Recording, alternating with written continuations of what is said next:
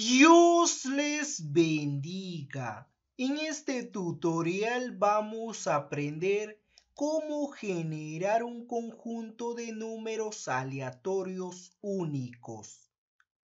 Bien amigos, en este caso vamos a emplear dos fórmulas.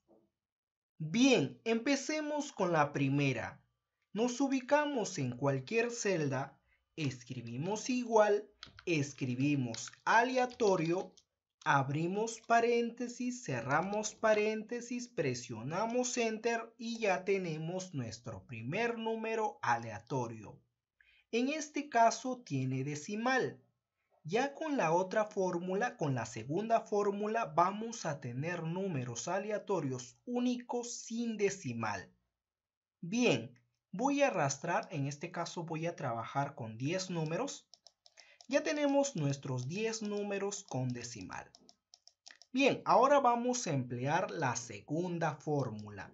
Nos ubicamos al costado de nuestro primer número, escribimos igual, escribimos jerarquía, abrimos paréntesis y lo primero que nos pide es número.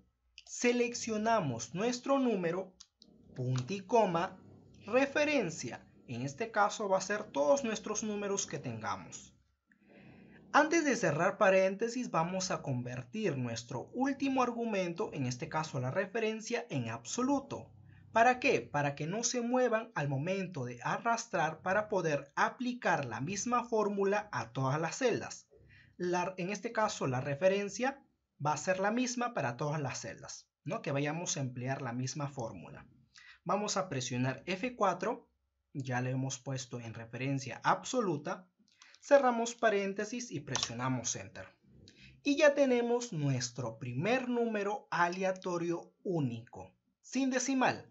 Arrastramos y ya tenemos nuestros 10 números aleatorio único. En este caso, como estamos trabajando con 10 celdas, fíjense que tenemos el primer número y también el décimo número. ¿no? Del 1 al 10. Bien amigos, eso ha sido todo. Espero que les haya servido. Si te sirvió, me puedes regalar un like, suscribirte y activar la campanita para que estés enterado de los próximos videos.